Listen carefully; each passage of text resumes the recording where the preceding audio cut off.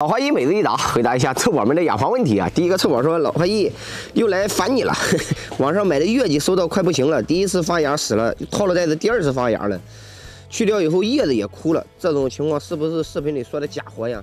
你要不说月季，我还以为是个茉莉呢。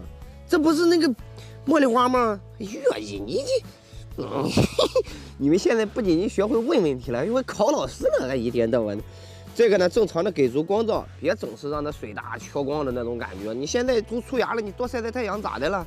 无论茉莉也好，月季也罢，都是喜欢光照。发了芽了就循序渐进的去见日照，好吧？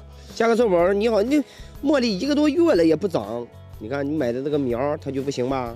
一定要给足光照。现在就是将苗了，你明白吗？臭宝，稍微控一下水，光照给足，略干一点的时候再浇。茉莉相对来说喜欢干湿循环，但是呢，不要旱过头就行了。你这个就是稍微有点偏水大了，是吧？光照要给足啊。现在有点姜苗，家里边有生根液、生根粉类似的，或者幺零幺之类的，又或者是反粉水之类的，给它加一点，激活一下啊。这个时候就相当于什么呢？门一下给锁上了，你给它打开门，要不然它出不来。下个臭宝，去年秋天种下去的满天星，现在开始发红了。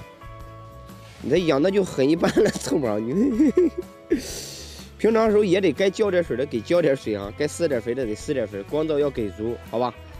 这个就长得偏慢了，你那边可能还是温度有点低的事吧？给点肥料适当的啊，现在可以给肥料了。下个臭宝说，郁金香怎么叶子前面都枯了？是缺啥了吗？缺肥了呀？你这水培的，这肯定啊，那个营养给不上啊。你们啥都水培。昨天有花友问我，这个可以水培？那个可以水培吗？我给的答案是可以的，但是我也同时也要问一下花友们，我说臭宝，你别吃饭了，挂吊瓶能活吗？嗯，我刚当时直播间一千多人，我问了，他们说都能活。我说那你为啥不挂吊瓶啊？对吧？你挂吊瓶，你肯定啊，那不如吃饭来的实在啊，对不对？所以说呢，尽量的能土培还是土培，你实在没办法了，你想要水培那也行哈，知道这个事儿就行了，就营养不好补。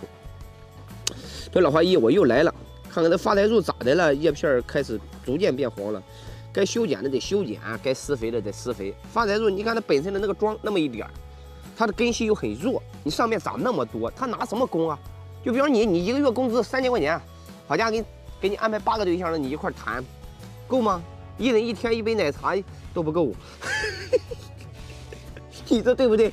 所以说现在你看他有，他也差不多了，月收入不到三千，你给他安排了八个对象，人天天这个要奶茶，那个要奶茶，不肯定有的对象那不就黄了吗？对吧？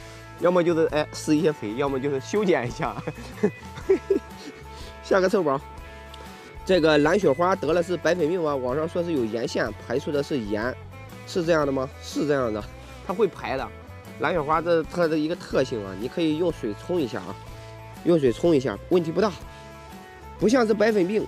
不过下面的老叶啊，这样你不用太过于担忧。如果说上面的叶子、新叶子，包括开花，也都整体的不好，那就是不行了。现在发现了以后呢，我跟大家伙一直说，浇花最好的水呢，你就存一些雨水来浇花，对不对？